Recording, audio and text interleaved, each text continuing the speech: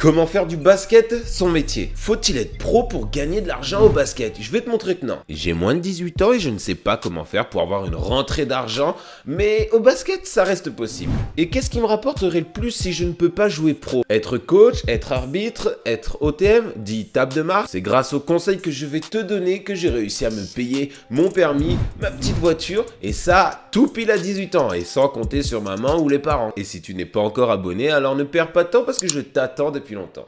Je vais pas me cacher, je vais tout expliquer et tu finiras par tout comprendre. Enfin, peut-être que tu comprendras rien si tu restes pas jusqu'à la fin. Vous êtes sur la première chaîne basket hors du commun qui vous propose ce genre de contenu. Alors juste pour ça, si on atteint les 1,2 likes sur cette vidéo, je vous mets une vidéo dans la semaine. Sinon, va falloir attendre samedi. Je te laisse toute la durée de la vidéo pour me dire tout simplement sur quel titre tu voudrais qu'on part pour la prochaine vidéo. Alors je te laisse toute la durée pour décider.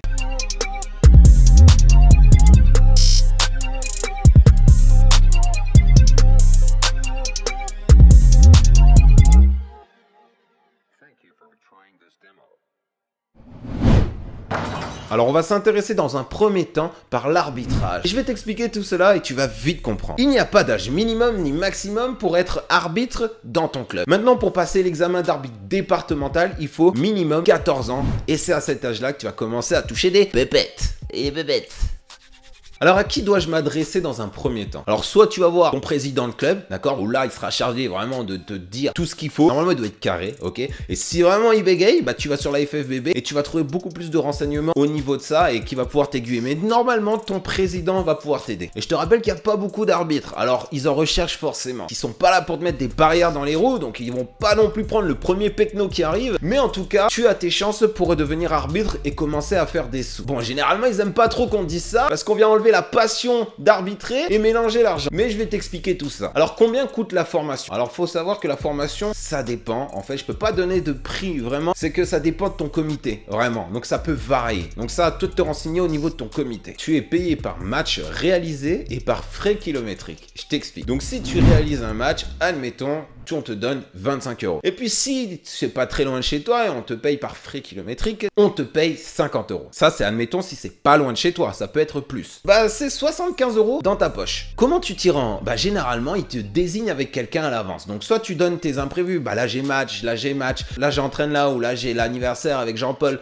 peu importe, tu donnes tout simplement tes indisponibilités. Eux après ils te désignent. Une fois que tu es désigné, comme tu es jeune et que tu as 14 ans et que tu vas pas pouvoir forcément t'y rendre, vont te mettre avec quelqu'un qui a le permis. Donc les frais kilométriques que la personne qui a le permis va prendre en charge. C'est rare, d'accord? Et puis moi même dans mon cas, euh, puis ceux que je connaisse, ceux qui avaient le permis ne venaient pas demander euh, oui bah je t'ai emmené, faut que tu me donnes les frais qu'on t'a donné. Non, non, non. Ils savent que tu es jeune, que c'est compliqué. Donc généralement les frais kilométriques c'est tout dans ta poche et ça c'est arrangeant. En un week-end, suivant si tu as des matchs ou pas, tu peux facilement faire deux à trois matchs. On part du principe que tu vas faire, admettons, deux matchs. Bon, 75 euros x 2, ça te fait 150 euros. Ça rien de calculé, j'avais calculé avant. Donc, en un mois, on partirait sur 600 euros. Et tu imagines à ton âge déjà 600 euros, alors qu'il y en a d'autres qui ne gagnent zéro. Parce qu'ils galèrent à trouver un boulot, qui galèrent à trouver autre chose. Ils sont obligés d'attendre 18 ans, ou alors ils ont une connaissance dans la famille, et là, ça arrange. 600 euros en un mois, et si tu fais 9 mois, ça te fait facile 5400 euros à l'année. Part du principe que tu vas commencer vers l'âge de 15 ans. Et de 15 ans, du coup, jusqu'à 18 ans, bah tu fais x3. Ça te fait direct 16 200 euros. Bon, sachant que tu es jeune, donc tu vas sortir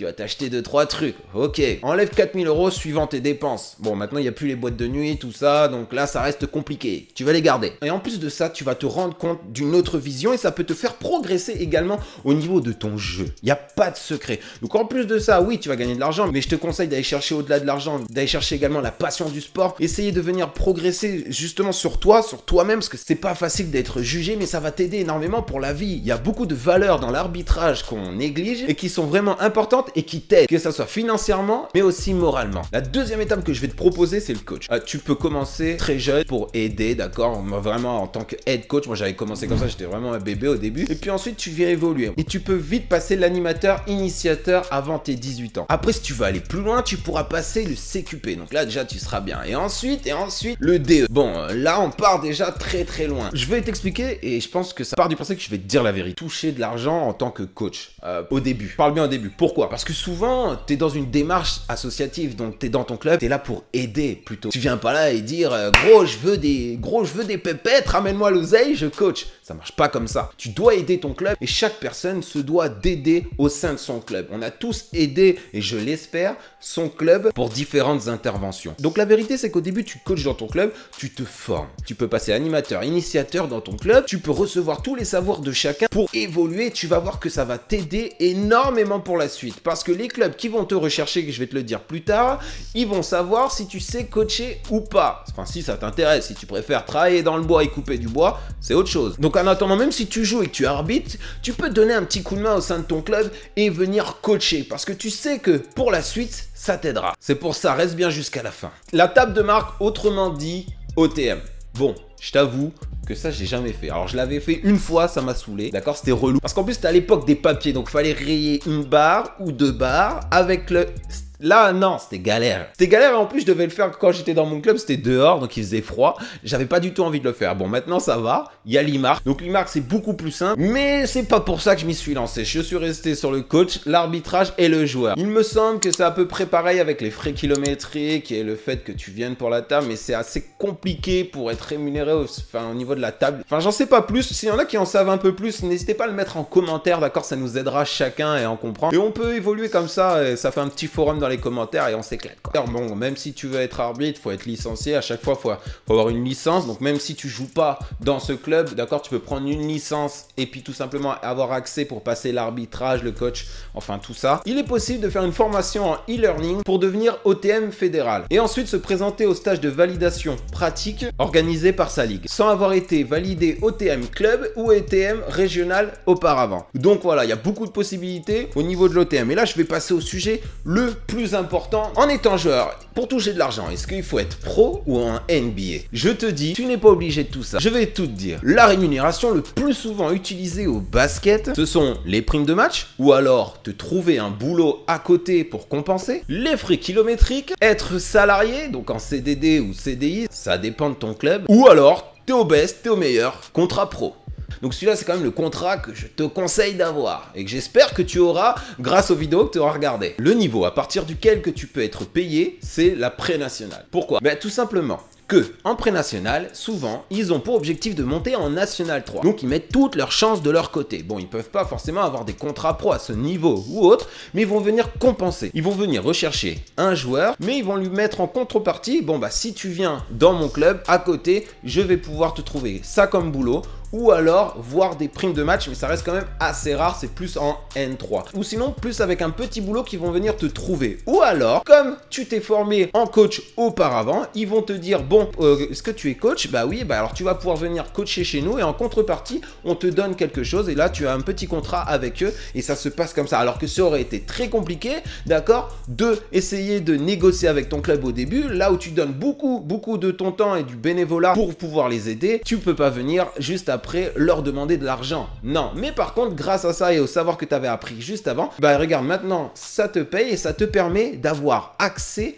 un club plus facilement que quelqu'un qui arrive et qui se prend pour le petit Jordan et qui va penser avoir de l'argent que en jouant à ce niveau-là. Ça reste pas possible. Donc en plus de ça, si tu es coach, tu peux coacher les enfants. Si tu as fait de l'arbitrage, gros, c'est bénéfique. Tu vas toucher l'arbitrage, tu vas aussi faire le coach et tu vas jouer à un très bon niveau. Et en plus de ça, tu pourras peut-être gravir des échelons s'il y a une équipe plus haute et tu t'entraînes avec eux en même temps. C'est tout bénéf. Il ne faut pas croire, tu vas pas non plus rouler sur l'or ou autre. Il faut que tu saches très bien qu'un joueur N2 et N1, vraiment, à côté, il s'assure son avenir, soit par des formations, soit par des petites choses à côté que tu ne sais pas forcément.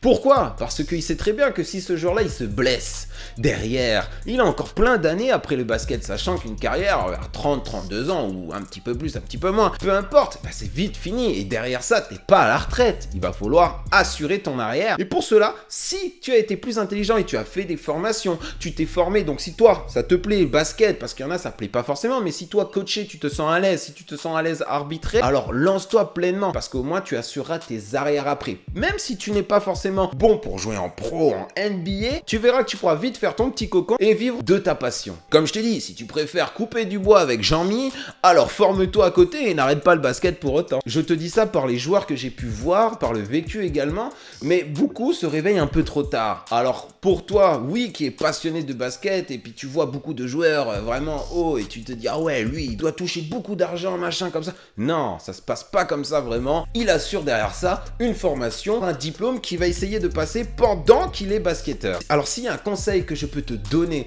vraiment, c'est de jouer au basket le plus haut, le plus haut que tu puisses aller. Et derrière ça, d'assurer tes arrières. Donc oui, ça peut être vivre du basket par du coach, par de l'arbitrage, par l'OTM, par tout ça, et parce que ça te passionne. Mais il y en a d'autres, ça les passionne pas. Ils préfèrent aller être dans la banque, ils préfèrent être dans autre chose. Et ça commence par le bac. Et ne pense pas faire et simplement que et que du basket. Parce qu'à long terme, ça s'épuisera. À moins que tu sois vraiment fort et que tu es déjà assuré pour jouer en NBA, Pro A ou Pro B.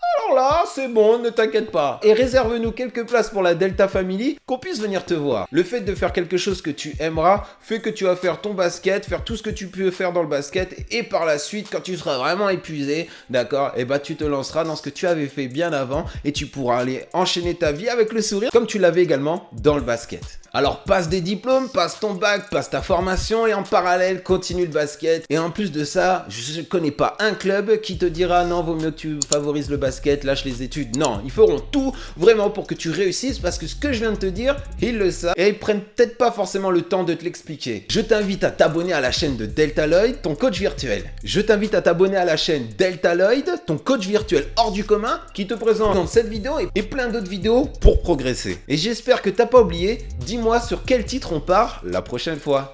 Ciao et, si, et si vraiment t'as peur d'être coach ou si t'as peur de te lancer dans l'arbitrage, faut savoir quelque chose. Ils ont, ils ont tous débuté à un certain moment. Ils ne sont pas arrivés au top niveau en étant super arbitre ou super coach. Ça n'existe pas. Ils avaient des défauts, mais ils ont été capables de réceptionner ce qu'on leur a dit pour évoluer. Et n'aie pas peur tout simplement du jugement parce que souvent tu vas venir entraîner des plus petits qui ont besoin d'apprendre. Toi, on te transmet comme là des savoirs. Des autres entraîneurs vont te transmettre des savoirs. À la force, tu sais des trucs t'es pas bête. Alors à toi de les apprendre aussi aux petits pour qu'ils puissent progresser de ce que tu as appris. Tu vas peut-être te tromper, mais tu vas te former petit à petit, tu vas y arriver. Donc c'est que comme ça qu'on y arrive, c'est pas en restant chez soi et faire que pour soi.